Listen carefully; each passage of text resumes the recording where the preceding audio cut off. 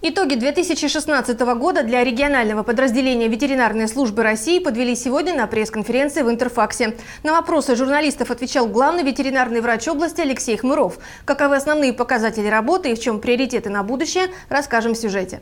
Эпизодическая ситуация в регионе непростая, но управление ветеринарии держит ситуацию под контролем. Это утверждение лейтмотивом звучало на пресс-конференции главного ветеринарного врача Белгородской области Алексея Хмырова. Несмотря на то, что в соседних регионах, например, в Воронежской области, зарегистрированы вспышки африканской чумы свиней и птичьего гриппа, местной ветеринарной службе пока удается не допустить их проникновения на территорию Белгородской области. За минувший год было проверено и обработано около 90 тысяч транспортных средств. На территории области, на границе с Южным федеральным округом и Курской областью работают 6 ветеринарно-полицейских постов круглосуточных, постоянно действующих. То есть весь транспорт, который проходит через э, границу Белгородской области, он осматривается, он дезинфицируется, если есть необходимость, задерживается и возвращается за пределы э, Белгородской области. Птичий грипп – заболевание опасное не только своими социально-экономическими последствиями. От этой разновидности вируса страдают и люди. На птицеводческих предприятиях действует система биологической безопасности, но в случае вспышки будет провакцинировано все поголовье в регионе. Есть запас у нас вакцины. Вдруг, если вспышка где-то, не дай бог, произойдет, то мы готовы будем применять эту вакцину.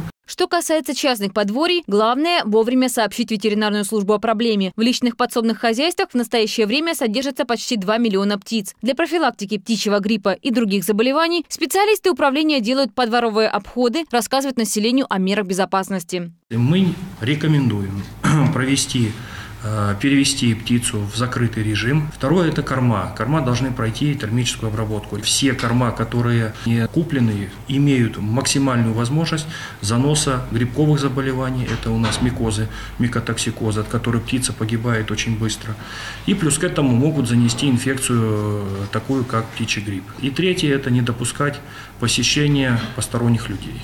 Отдельно затронули вопрос бешенства. Белгородская область – одна из неблагополучных по этому заболеванию. Источниками инфекции являются дикие и бездомные животные. В 2016-м было выявлено 112 случаев, в том числе 30 у кошек и 40 у собак. Четыре факта бешенства животных зарегистрированы в Белгороде. Для того, чтобы предотвратить болезнь, достаточно привить всех домашних питомцев, в том числе и тех, кто не выходит на улицу. Бесплатно сделать вакцинацию можно каждую пятницу во всех подразделениях Госветслужбы региона. Это очень опасное заболевание, которое которая не лечится ни у человека, ни у животных.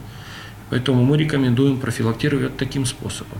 Оно делается пожизненно, но ежегодно. Говорили на пресс-конференции о новой инфекции – надулярном дерматите. Ей подвержен крупный и мелкий скот, а также лошади. Пришедшая к нам из стран Ближнего Востока, зараза проявила себя сначала на Кавказе, а теперь дошла и до Черноземья. Смертность среди зараженных животных достигает 70%. Опасность представляет и их молоко. В регионе общей сложности около 60 тысяч голов КРС. Из них порядка 20 тысяч в личных подсобных хозяйствах. Вакцину от этого грозного заболевания планируют приобрести за счет бюджетов федерального и областного. Для этого необходимо необходимо около 60 миллионов рублей. Ксения Голуб, Сергей Драчев. К этому часу Белгород.